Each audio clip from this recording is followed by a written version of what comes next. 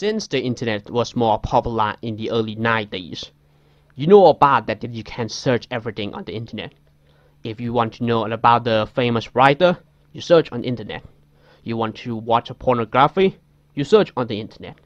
But some people search internet for something that more macabre and disturbing. Welcome to r slash morbid reality, a subreddit for human suffering and death.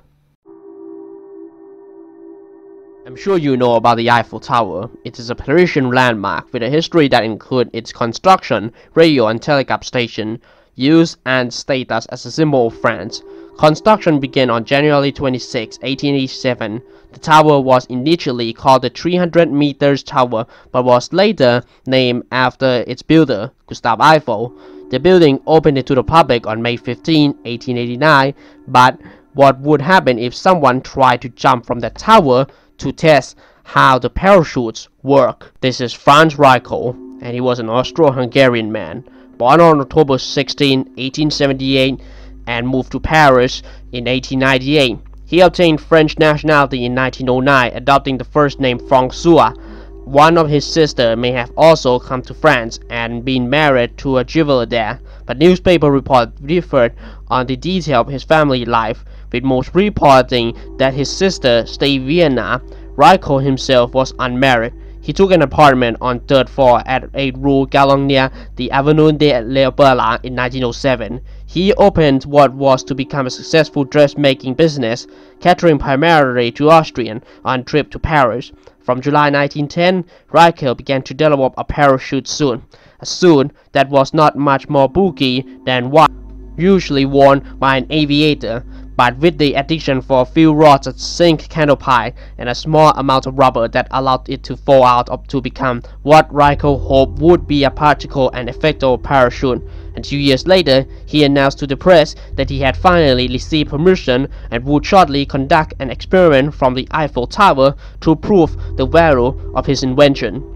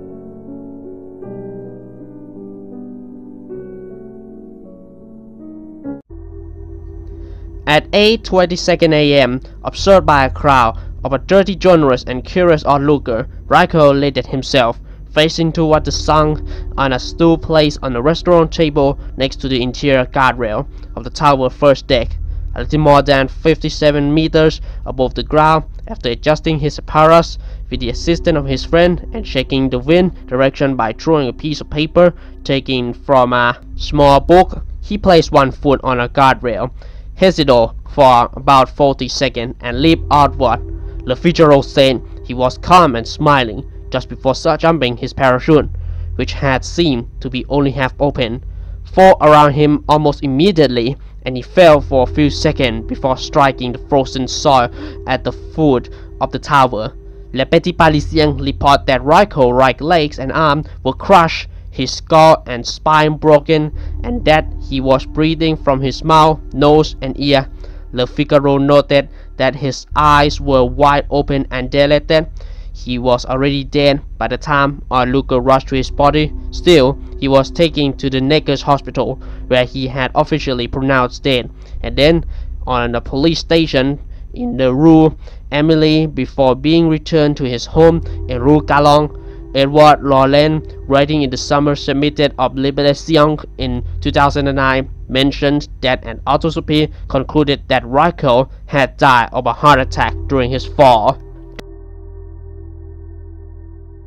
The Reddit user Banbansha has released a destroyed photo of a prisoner's son. This post was wrote, I was stationed in Iraq in 2007, where my battalion was tasked with preparing suspect Iraqi insurgent for court.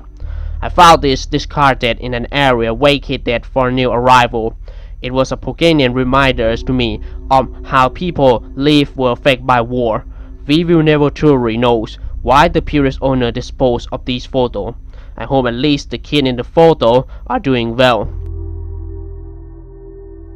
This is a photo that Robert Wiles took back in 1947. It was titled The Most Beautiful Suicide. It had been compared to the photograph Malcolm Browne of the self-immolation of Vietnamese Buddhist monk Thich Quang Duc, who burned himself alive at a busy Saigon Road intersection in 1963. Both are widely regarded as being among the most iconic suicide photographs. Ben Cosgrove of Times praised the photo as technically rich, visually compelling, and downright beautiful, describing her body as resting or napping rather than dead and appearing as if she is daydreaming of her beauty. The woman in the photo was Evelyn McHale. Born in Berkeley, California on September 20, 1923, one of nine children born to Helena and Vincent McHale. Her father was a bank examiner who relocated to Washington, D.C. in 1930. Her mother suffered from undiagnosed or untreated depression. This led to a challenging marriage and ultimately a divorce. After graduating from Normandy High School in 1942, McHale joined the Women's Army Club and was stationed in Jefferson City, Missouri. She later moved to Baldwin, New York and was employed as a bookkeeper at a Kitab engraving company on Pearl Street. She met her finance, Barry Rhodes, a Lafayette College student discharged from the United States Army Air Force. On April 30, 1947, McHale took a train from New York to Easton, Pennsylvania to visit Rhodes. The next day, after leaving Rhodes' residence, she returned to New York City and went to the Empire State Building, where she jumped from the 86th floor observatory, landing on a parked car. A security car reportedly stood approximately 10 feet from her just before she jumped. Rhodes did not notice any indication of suicidal thought before McHale left. Detective Frank Merle found her suicide note in a black pocketbook next to her nearly folded cloth cord at our observation deck hall. The notes read, I don't want anyone in or out of my family to see any part of me. Could you destroy my body by cremation? I beg of you and my family don't have any service or remembrance for me. My finance asked me to marry him in June. I don't think I would make a good wife for anybody. He is much better off without me. Tell my father I have too many of my mother's tendency. This is Freddy Gonzalez from Kentucky. He offered employee race to murder romantic rival 43-year-old Brian Russell after his girlfriend dumped him from his ex-husband. Russell and his ex-wife were high school sweethearts who married for 16 years and had two kids together. In 2018, they separated and divorced but maintained that contact to co-parents their children. She began dating Gonzalez in 2020 but broke it off after about 8 months. Gonzalez continued to pine for the woman as she went back and forth between him and Russell. During this time, Gonzalez obsessively stalked the woman. Ultimately, she decided to go back to her ex-husband in mid-December 2020 an enraged Gonzalez told Russell he had a gun and threatened to kill him. Gonzalez then concocted a scheme to murder Russell. He offered Xavier Posey $2,000, a pickup truck, and a cafe race to kill Russell. After Posey agreed, Gonzalez gave him the murder weapon. Gonzalez also shows Posey's where Russell lives sketches a map of the victim's homes and include the address. Posey shoot Russell to death at the victim's home. A federal judge in Kentucky sentenced Gonzalez to 40 years in prison for orchestrating the murder. And that's is the video. I'm sure about that that the sound why so weird because I was quite to be having a snort and a short tone and and I'm sure that, that the previous video on r slash morbid reality having uh, positive reviews so I will do this sequel and the next video I will do it will be an iceberg video. And if you like this video please share like and subscribe to the new OM 24 and thank you for watching. See you next time